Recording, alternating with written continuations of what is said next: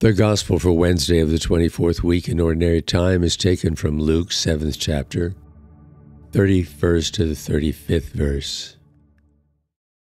Jesus said to the crowds, To what shall I compare the people of this generation? What are they like?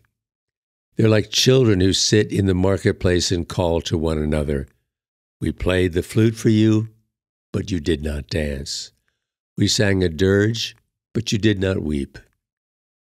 For John the Baptist came neither eating food nor drinking wine, and you said, He's possessed by a demon. The Son of Man came eating and drinking, and you said, Look, he's a glutton and a drunkard, a friend of tax collectors and sinners. But wisdom is vindicated by all her children.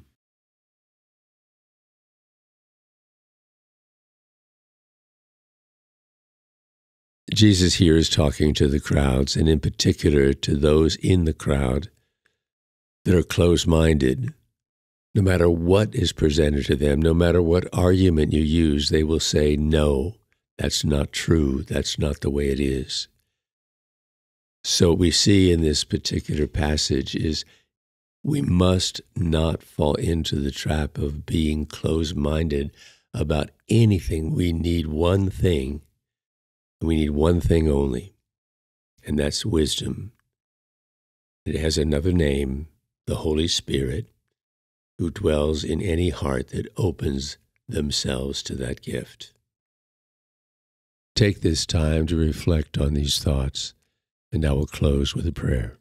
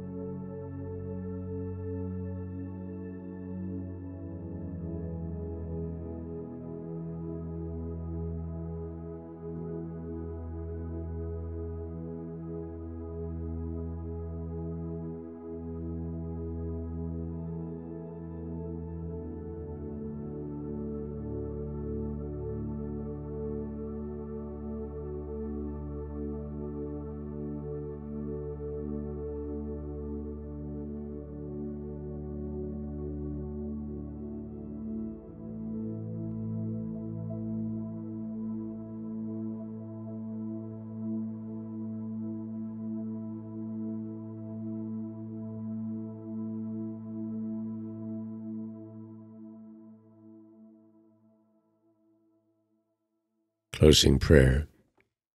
Father, your promised spirit is the key to us understanding who we are and why we're here and who we are called to be. And so bless us with the gift of wisdom. And we ask this in Jesus' name. Amen.